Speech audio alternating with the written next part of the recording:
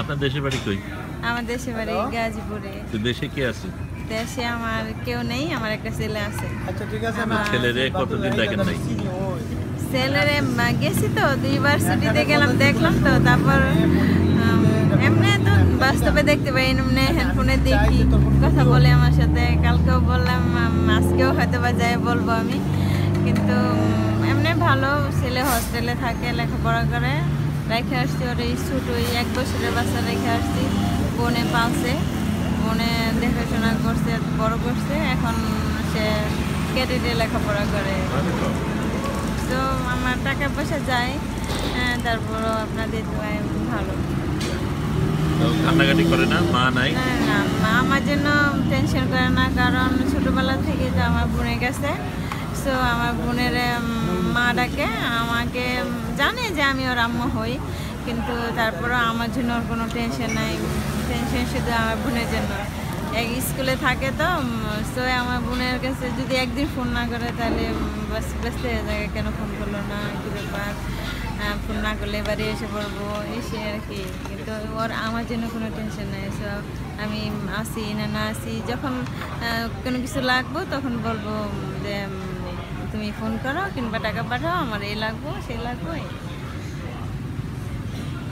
আপনি যখন গেছেন তখন কতদিনের জন্য থাকছেন? আমি একবার দেড় মাসের জন্য গেছি আর একবার দুই মাসের জন্য গেছি। এখানে কি করেন আপনি? এখানে গ্লোভস হ্যান্ড গ্লোভ গ্লোভ ফ্যাক্টরিতে কাজ করি। এই কাজের খবর পাইলেন কেমনে? খবর তো পাইনি আমি বাংলাদেশের থেকে বলছে যে কলিংয়ে মালয়েশিয়া লোক নিতেছে সো ফ্যাক্টরিতে মেয়েদের নেয় ভালো হাসপাতালের লোক। বলল সবাই এখানে কতজন আছেন আপনারা? এখানে ছিল অনেক আগে অনেক আগে ছিল অনেকেই কিন্তু এখন সবাই তো চলে গেছে সো এখন বর্তমানে আছে হয়তো বা ছেলে মিলে ছেলে মেয়ে মিলে কত দেড়শো এরকমই হবে। কেমন লাগে বিদেশে? বাস অনেক দিন ধরে থাকতেছি তো ভালো। দেশের জন্য মন টানে না? স্বাভাবিক দেশ সেটা হচ্ছে আমার দেশ আমার দেশের জন্য মন টানবো না মানে যাইবো তো দেশে কতদিন থাকবেন আশা করি? আর বেশি না দশ মাস। তারপর চলে তারপরে কি করবেন? তারপরে দেশে যাই তারপরে দেশে যাই এসে বুঝব দেশের কারণ দশ বছরে দেশের অনেক কিছুই চেঞ্জ হয়ে গেছে গা সো ভাববো দেশে যাই এখন আর কি বলব দেশের কথা দেশে যায় না আগে তারপরে দেখা যাক কি করা যায়। এই ছেলে এখন কি? এগারো বছরে যাবে আপনি যেতে যেতে? হ্যাঁ এগারো বছর হয়ে যাবে। বড় হয়ে গেছে হ্যাঁ। এখন। এখন বুঝে সব কিছু বলতে পারে। আপনি এখানে ভাষা শিখছেন? হ্যাঁ এখানে ভাষা বলতে পারি আমি। আর কি শিখছেন? কাজ কি শিখছেন? কাজ ওই জায়গায় ফ্যাক্টরিতে যা কাজ তাই। এছাড়া বাইরে আর আমাদের কোম্পানি থেকে যে বাইরে বাইরে কোনো জায়গায় কাজ করব তা হয় না। কারণ আমাদের পাসপোর্ট আমাদের কোম্পানির কাছে তো বাইরে অন্য কোনো ফ্যাক্টরিতে আমরা কাজ করতে পারব না। কারণ বিষয় নাই আমাদের বাইরে যদি বাই চান্স পুলিশে ধরে তাহলে সমস্যা না। সো আর আমরা বাইরে কাজও করি না সো আমাদের কোম্পানির বেতন নেই কিন্তু আমাদের বসে সো বাইরে কাজ করার মতো দরকারই পড়ে না। কত ঘণ্টা কাজ করেন? আমরা এই জায়গায় কাজ করি বারো ঘণ্টা। করি। কটার থেকে কটা? সকাল সাতটা থেকে সাতটা। কতদিন? সপ্তাহে? সপ্তাহে মানে পুরো মাসে কাজ আছে কিন্তু ছুটি নাই? ছুটি আছে সপ্তাহে একদিন ছুটি।